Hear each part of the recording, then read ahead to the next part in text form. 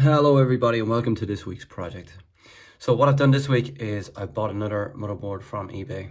This is how it's described here. Dell Latitude 3580 i5 7200U. Motherboard is faulty, not turning on, price 49 euros. And this is the board here. So I didn't pay 49 for this. I bought a bunch of these and got them for 100 quid. But this is the first of them. So what I'm going to do is I'm going to take pictures of this board. I'm going to get it onto the screen and we're going to have a look at it together. I've scanned in the motherboard and this is what it looks like. So if I zoom into 100% you'll see what level of detail we have on it.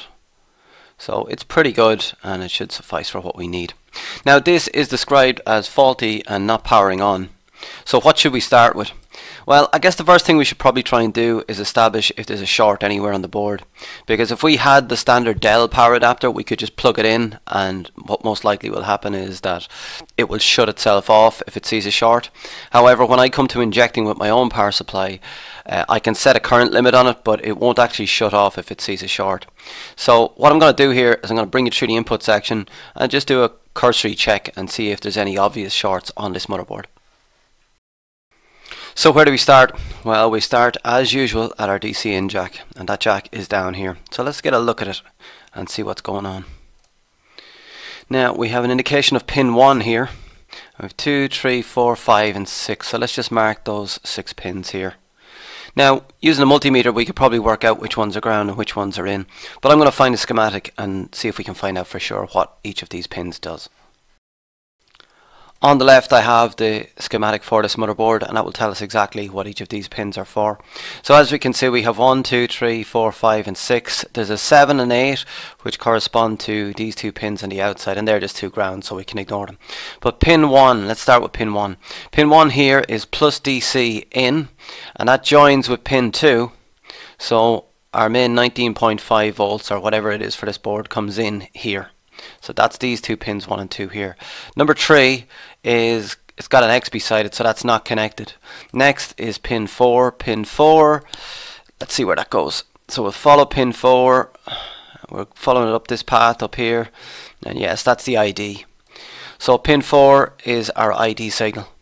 Uh, next we have pin 5 and 6 and I guess at this stage by the process of elimination we can assume those to be ground and sure enough they're grounds. So that's what each of the pins does. So what we want to check is we want to check along the path of our DC in and see if we can find any shorts. Start with our first measurement of the DC input jack. So I'm going to introduce my multimeter in diode mode and just to mark out that this is our DC in and this is our ground. Hopefully you saw them appearing. So DC in is pins 1 and 2 and ground is pins 5 and 6 so what we need to do is we need to place our red probe to our ground and place our black probe to our DC in and when I did that I got a measurement of 0.612 so we have no short at the input section so where do we go next? It doesn't look like there's any other components uh, on this side of the board. Well, it looks like we have a couple of vias carrying the DC input through to another side of the board. So let's try and find where it goes. See if we can find out where that DC input goes next. Um, I actually have a schematic as I've shown you, so I really just need to look for the number of the component next. But if I didn't, how would I find out where that DC input goes? Because we've no indication.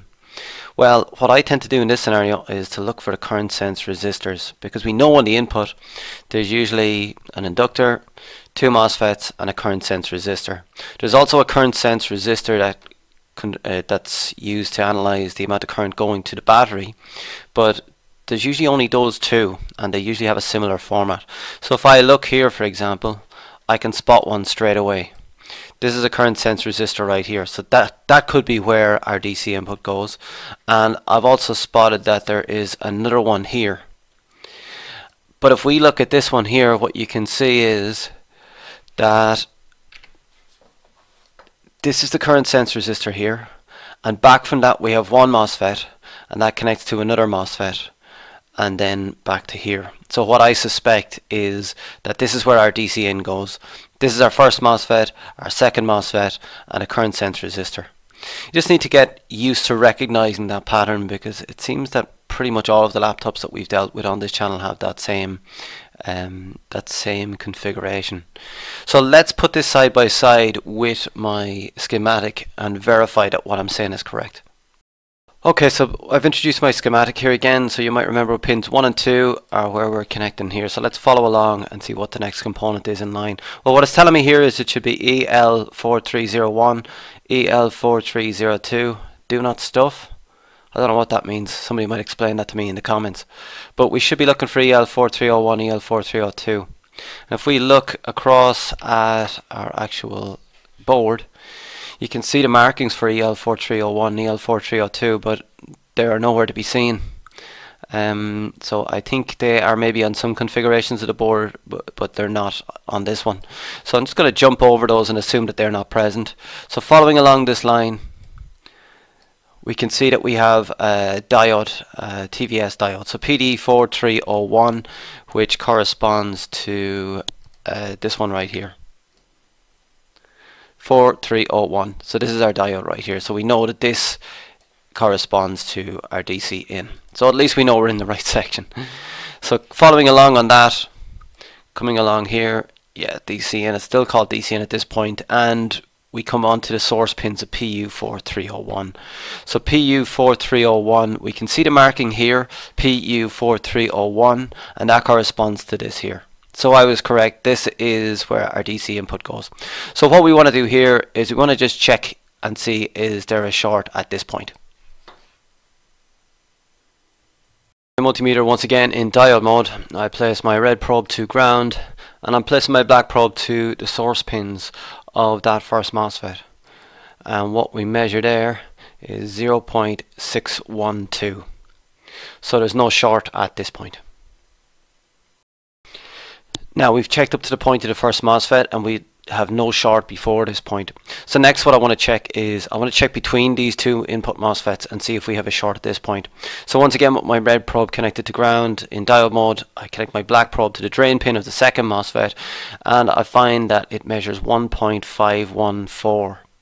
So there's no short here either. And the one last measurement I need to check here is to see if there's a short after the second MOSFET where the current sense resistor is here. So again in diode mode I place my black probe to this current sense resistor right here and what I measure is 0.001. So what does that mean? Well that means it looks like we once again have a short on our main power rail. Now this is actually good news because if you have a short on the main power rail this can usually be pretty easy to get resolved. We inject voltage at this point and see what component carries the current to ground. That component will heat up and then we see what it is and remove it. So I'm going to show how I set up the voltage injection next. And just so everybody is clear where exactly I'm going to start injecting voltage, this is it on our schematic. So this is our second MOSFET and this is our current sense resistor PR4402. So right here is where I've detected 0.001 volts in diode mode and this is where I'm detecting that there is a short. So this is essentially our main power rail here and it's just after this current sense resistor where I'm going to inject. Now on to the fun part. Let's introduce our DC power supply and I'm going to start injecting with a very low voltage. So we'll start with 1 volt and 300 milliamps. Now it's not likely that anything is going to heat up with that, but we have the flexibility that we can bring the voltage and the current up and down as we wish. So how I connect it up is as follows. We connect the black wire to ground, and I'm connecting my red wire to where we detected that short, which is just after the current sense resistor. And that's where we start our injection.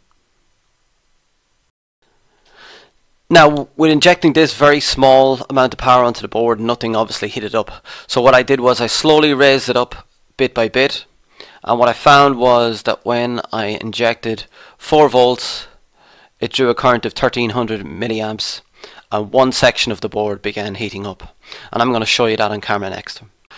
Now when I injected 4 volts onto the board it pulled 1300 milliamps and this is the component that heated up on the right. Now obviously we can see now that we've zoomed in that it also it fails a visual inspection as well because it looks like it's cracked. But what I did just to prove it was douse it in flux and switch on some power again. So when I switch on the power you'll see immediately it starts to burn off the flux. So that is our shorted component. And just in case anybody's experiencing this fault themselves, the capacitor that I found to be shorted is the one on the same side as the DC in jack. It's actually just up from it here and it's this one. Now there's no marking on it but hopefully there's enough in this that if you suspect you have the same fault you can check this capacitor and maybe it's failed on yours as well. And this is a quick video of me removing that capacitor. Now if you're curious as to why the capacitor is a small bit crooked, I forgot to record it the first time so I put the capacitor back on the board to record a video of me removing it. But that is the cracked capacitor there as you can see. That's me removing it. Now with the capacitor removed we need to check and see do we still have a short. So now that my dodgy capacitor has been removed, we need to check at our current sense resistor and see if we're still measuring a short. So I put my red probe onto ground, I put my black probe to where we measured previously at the current sense resistor and this time we measure 0.459. So it looks like our short is gone. Now that doesn't mean that you know the short is the only fault on this board, but it's worth trying at this stage to power it on. I don't have a power adapter for this, so what I'm going to use is my DC power supply to provide 19.5 volts at the DC input jack, and then I'm going to try and find a power button and see if we can power it on. Just in case anybody's curious as to how I hooked up my DC power supply to provide power to this board, I set my power supply to 19.5 volts. I connected my black wire to ground where it was before and this time I connected to where the DC input is. So connecting my wire here is essentially the same as connecting it at the DC input jack because this is where the DC input jack comes to. So when I plugged it in there it drew 0.011 that's 11 milliamps. So that seems about right for standby. So the next thing is to try and power it on. So I needed to work out how to power it on without the actual little daughter board that has the power button on it. And this is where our schematic comes in helpful once again. So I have PWR1, which is the power button as it's referenced on the schematic, and on our actual motherboard, PWR1. So this is the connection. As I said, I just have the motherboard. I don't have the little daughter board that plugs in here with the power button on it.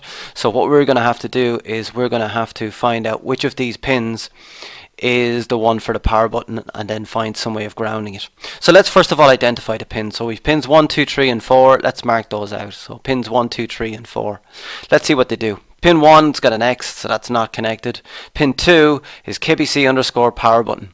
So this is the power button signal that's sent down to the KBC or Super IO or EC or whatever you want to call it, but that's how it's referenced here. So that's the one that we're interested in. Pin 3 is power LED and pin 4 is connected to ground. We have pins 5 and 6 which correspond to uh, 5 and 6 here which are just other grounds. So let's mark in what each of those are for. So 1, 2, 3 and 4 but 2 is the one of interest. So this is the power signal that's sent to the Super I.O. So I've measured this with my multimeter and there is 3 volts on it. So what we need to do is we need to somehow ground that and send that signal back to the Super I.O. So how do we do that? So to ground the power button signal, I got my tweezers and I brought it in very carefully and connected it to pin 2 and pin 4. So that jumpers pin 2 to ground and then I release it. So it's the same as you would press the power button. You would essentially just connect it and release and that sends the signal to the Super I.O. to switch on. So I'm going to show how I did that in the real world and let's see if this motherboard comes on. So this is my setup on the real board. So I have my black wire connected to ground. I've got my red wire connected to where my DC input is. And as you can see, I've set 19.5 volts on the power supply and it's drawing 11 milliamps. So what we're going to try next is to power it on. This is the video of where I try and jumper the power switch on. Now just before I do this, you might notice that the tweezers seems to hit off pin 1 a bit. Pin 1 is not connected, so I have the freedom that I don't really have to worry about hitting off this. Usually I would probably be a little bit more careful, but let's watch what happened when I jumpered pin 2 to pin 4 through my tweezers.